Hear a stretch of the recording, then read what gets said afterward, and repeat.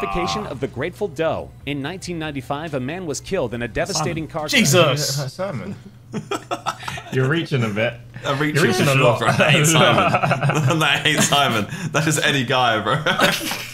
It's, I can see where you're coming from. But you're a, a- a- a quick glance, it could have been Simon, and now it's not Simon. Can you get it off the screen now, please? no, no, well, let's leave it for a few seconds longer. It could, it could indeed be Simon Miniminter. You never know.